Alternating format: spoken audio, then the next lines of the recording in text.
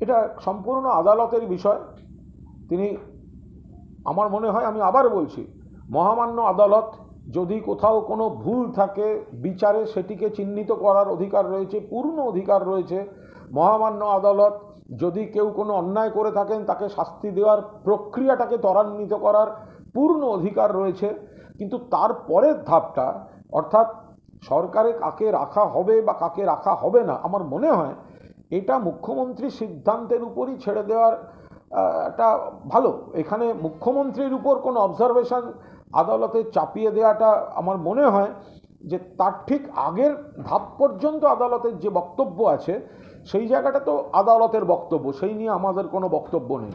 কিন্তু আমি পাশাপাশি তো ওই কারণেই বলছি যে যখন এই ধরনের ঘটনা ঘটে, অন্যান্য ব্যাপক হারে বৃহত্তর আকারে এই শিক্ষাক্ষেত্রে ত্রিপুরায় দুর্নীতি হয় মধ্যপ্রদেশে হয় অমুক জায়গায় হয় তমুক জায়গায় হয় বাম জমানায় হয় বিজেপি জমানায় হয়।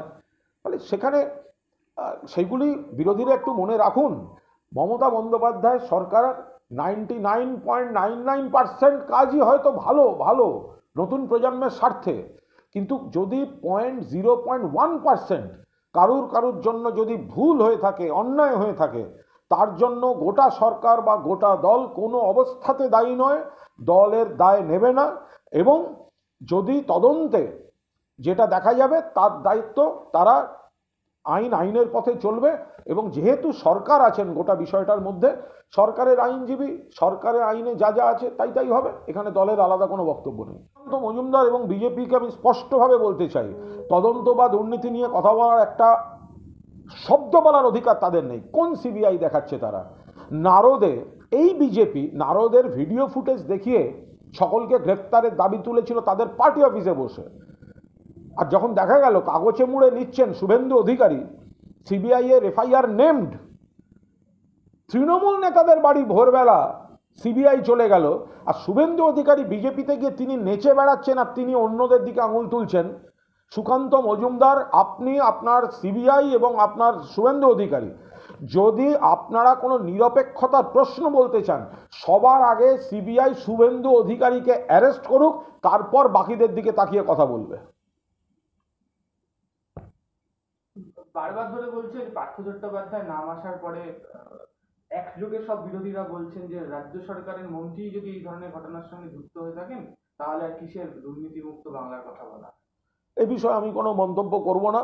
আমি শুধু এইটুকু বলতে পারি, মমতা বন্দ্যোপাধ্যায়ের নেতৃত্বে রাজ্য সরকার অত্যন্ত সংবেদনশীলভাবে, স্বচ্ছভাবে, সঠিকভাবে চলছে এবং এত বড় কাজ, এত মানুষ, এত পরিবার তারা উপকৃত হচ্ছেন? এত কর্মসংস্থান তৈরি হচ্ছে। সেই জায়গায় দাঁড়িয়ে মুখ্যমন্ত্রী তো চাইছেন উপকারটা আরও বেশি মানুষের কাছে পৌঁছে দিতে।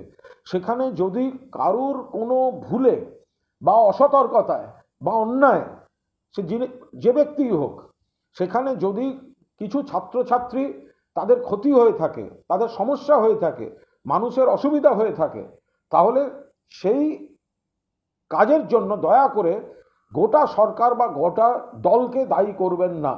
যাদের নাম আসছে, আইনে লড়াইয়ের দায়িত্ব তাদের। কোনো ধরনের আপত্তিকর কাজ মমতা বন্দ্যোপাধ্যায় বা তৃণমূল কংগ্রেস সমর্থন করছে না, সমর্থন করবে না। কিন্তু আইনের লড়াই, আইনি পদক্ষেপে যা যা পদক্ষেপ নেয়ার, তার পূর্ণ স্বাধীনতা, পূর্ণ অধিকার কনসার্ন সব যারা এই বিষয়ে রয়েছেন মামলাগুলিতে তাদের রয়েছে, ফলে তারা নিশ্চিতভাবে সেই নিতেই পারেন। কিন্তু আমি বলছি যে কোনো একটি দু- একজনের জন্য, দু একজন, দু তিনজন এর জন্য এত বড় সরকারের, মমতা বন্দ্যোপাধ্যায়ের নেতৃত্বে এত ভালো কাজ, সমস্ত দিক থেকে কাজ, এত কর্মসংস্থান, এত মানুষের উপকার, সেটা, সেটাকে কলুষিত করার জন্য এই এই ধরনের দু একজনের কোনো ভুল কাজকে ব্যবহার করবেন না আর তদন্ত, তো তদন্ত হোক, তদন্ত হবে এবং নিশ্চিতভাবে তদন্ত হলে খারাপ জিনিস খারাপ, ভালো জিনিস ভালো, ঠিক হলে ঠিক, ভুল হলে ভুল। এত বড়, আর বিরোধীদের এ ব্যাপারে বলার কোনো অধিকার নেই। আপনি যদি সিপিএমের কথা বলেন, বামফ্রন্ট জমানায় কথা বলেন আপনারা দেখুন না সিপিএম এর কার্যত প্রত্যেকটি হোল টাইমারের বাড়ির লোক শিক্ষা দপ্তরে কাজ করেছে। কীভাবে হয়েছে? সব একেবারে পরীক্ষা দিয়ে মেরিট লিস্টে বেরিয়ে গেছে। সরকারি চাকরি, কোন হোল টাইমার তাদের তাদের বাড়ির অন্য কেউ? মহিলা হলে পুরুষ পুরুষ হলে মহিলা, বা বাড়ির কেউ না কেউ।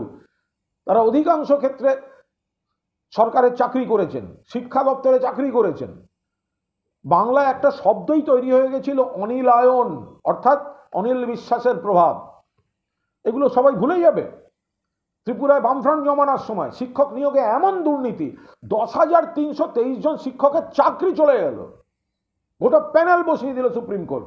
আর বিজেপি সরকার তাদেরকে মিথ্যা প্রতিশ্রুতি দিয়ে ভোটে কাজে লাগিয়ে তারপর তাদের চাকরি খেয়ে নিল। তো এখন তারা যদি একটা কোনো ঘটনার জন্য গোটা মমতা বন্দ্যোপাধ্যায় সরকার বা তৃণমূল কংগ্রেসকে আঙুল তোলে, এটা তাদের মুখে মানায় না। শুভেন্দু অধিকারী, এফআইআর নেমড, কোন সিবিআই নিরপেক্ষ তদন্ত করবে? কোন সিবিআই? যে সিবিআই এফআইআর নেমড বিজেপি নেতাদের ধরে না, সেই সিবিআই নিরপেক্ষ? এটা হয়। কেন শুভেন্দু অধিকারী এখন অ্যারেস্ট হচ্ছে না? কোন সিবিআই দেখিয়ে সুকান্তবাবুরা বড় বড় কথা বলছেন? যাদেরই নাম থাকুক, কোর্ট আজ যেটাই বলে থাকুক, মহামান্য আদালত, আইন আইনের পথে চলবে। কিন্তু যদি যে জায়গায় কারুর কারুর কাজে যদি সত্যিই দেখা যায়, যদি তদন্তে সত্যিই দেখা যায় কারুর কারুর কাজে ছাত্রছাত্রীদের স্বার্থ হানি ঘটেছে, মানুষের অসুবিধা হয়েছে, নিশ্চিতভাবে তৃণমূল কংগ্রেস কোনো অন্যায় কাজকে সমর্থন করবে না, কোনো যারা যে সিস্টেমে এরা দু একজন যদি কোথাও কোনো ভুল হয়ে থাকে এবং সেটা তদন্ত সাপেক্ষ, তৃণমূল কংগ্রেস কোনো অবস্থাতেই গোটা সরকার বা গোটা দলকে দায়ী করে যে কুৎসা বিরোধীরা করছেন, সেটা অত্যন্ত আপত্তিকর এবং অন্যায় কাজ করছেন।